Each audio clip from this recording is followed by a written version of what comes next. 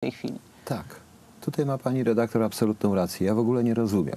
Dla mnie jest szokiem przede wszystkim to, że jeden z filarów e, PRL-u, moim zdaniem główna postać PRL-u, a nie generał Jaruzelski, ma w domu materiały dotyczącej legendy drugiej strony, strony, której podobno zwalcza.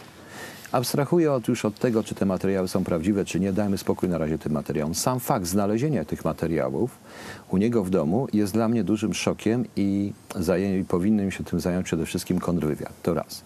Pani pyta o IPN. Nie wiem, co sobie myślał IPN. Ja wiem, że ta pani, pani Kiszczak, dwa tygodnie usiłowała się dostać do IPN-u z tymi materiałami. Osobiście wątpię w absolutnie w to, co ona mówi, co dzisiaj e, pokazują wszystkie media, że e, o jakiś list, że ona chciała o te, te, te pieniądze i tak dalej. Ktoś tam mówi nawet, że instytut się pomylił. Ja w to wątpię.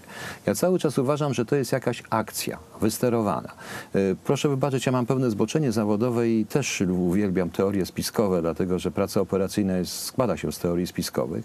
Ale dlaczego to się okazało dopiero teraz? Co to oznacza? To oznacza, że przez 25 lat ktoś tym państwem sterował za pleców. Że ci, na których ludzie głosowali, normalni, zwykli ludzie na ulicy różnych opcji politycznych, okazało się, że te głosowania nic nie znaczą.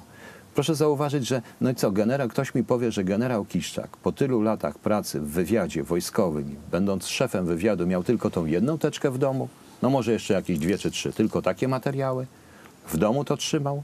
Poza tym jest jeszcze jedna rzecz. Te materiały, tego typu materiały to nie są dzieła sztuki. Tutaj również kopie są bardzo cenne. Kto ma te kopie? Gdzie oni są? Gdzie one są? Czy one są w Moskwie, czy one są w Stanach Zjednoczonych, czy ma je CIA, BND? Wszystko mi jedno. To jest nieważne. Ja uważam, że podstawiono minę, którą należy jak najszybciej rozbroić, ale to powinno rozbroić państwo, tą minę. Państwo. Państwo w sensie oficjalnych władz. To tym powinien się zająć moim zdaniem kontrwywiad. Powinno natychmiast nastąpić ujawnienie wszelkich materiałów zastrzeżonych IPN, które ma jest zbioru zastrzeżonego i natychmiastowa publikacja aneksu WSI, e, tego słynnego aneksu. Dlatego, że my już nie mamy nic do stracenia.